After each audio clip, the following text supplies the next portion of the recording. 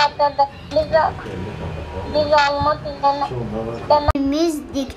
Onlar sen, senin sen hak ettiğin de Oynarken kazanırdık. Kazanmaktan çok paylaşmayı ve e, ren, virgül Le de de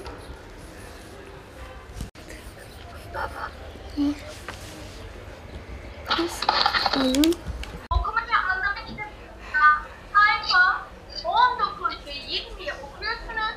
Metinle ilgili soruları cevaplıyorsunuz. Yani 56 Evet. toplama. Anlatarak. Toplam dörtün dörtlüğü elde var bir. Burada zaten 3 3 Evet. 5 aklımda. Okumam yazmam hiç yoktu. Ee, geçen sene de beri e, pandemi hastalığı çıktı. Çocuğumla canlı derse katıldık. Beraberle okuma yazma öğrendim. Onu Gizem Hoca'nın sayesinde hem canlı sayesinde bir, bir seviyeye geldik. Ee, hem e, matematik çözdüm hem Türkçe okudum. Yani bir hikaye bazen bir bir şey yapıyorum, okuyorum.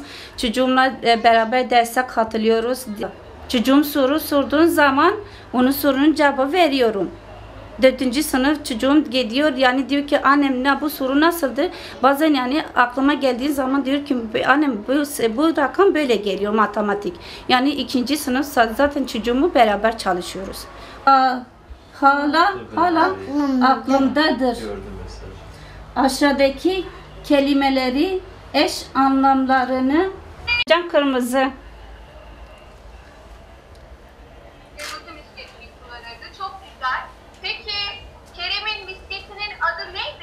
Alefliydi hocam.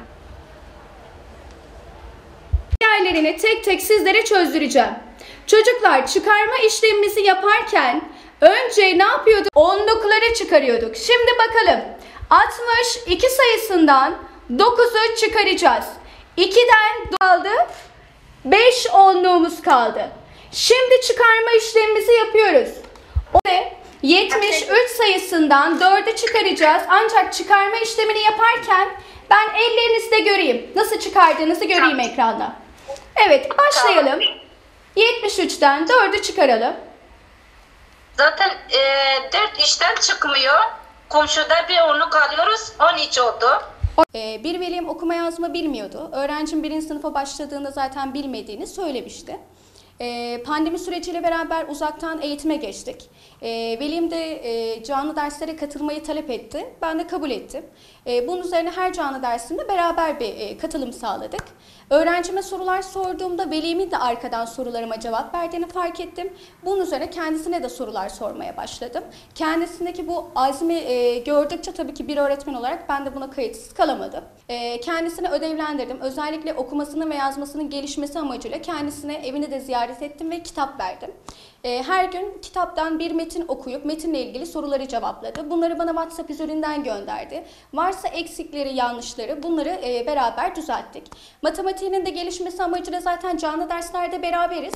Uzaktan eğitim süreciyle birlikte e, Velim Salih Hanım ve öğrencim Hasan bu süreçte birbirlerinin aslında öğretmeni oldular.